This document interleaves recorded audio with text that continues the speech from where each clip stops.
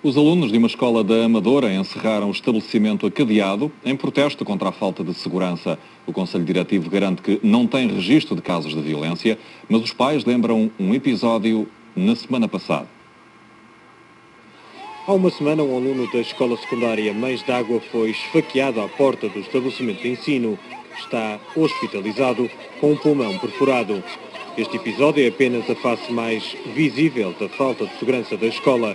A situação levou os alunos a fecharem o estabelecimento como forma de protesto. Nós queremos mais segurança, porque assim isto não é uma escola. Nós mesmo precisamos de segurança mesmo, que isto chegou a um ponto extremo.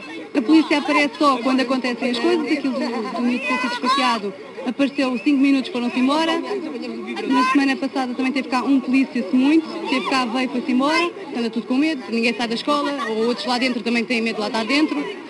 Sido assim. Os pais e mães destes alunos estão naturalmente preocupados, mas sentem-se impotentes para acabar com os sucessivos episódios de violência na escola. Nós temos medo de represálias se vamos intervir para ajudar as crianças, eles são muitos, depois começam-nos a, a, tomar de ponta ou vão seguir-nos, se não forem nós aos nossos filhos, e nós não intervimos. Quase todas as semanas há problemas. Vamos à polícia, pedimos segurança, vamos ao Conselho Diretivo e eles não fazem nada.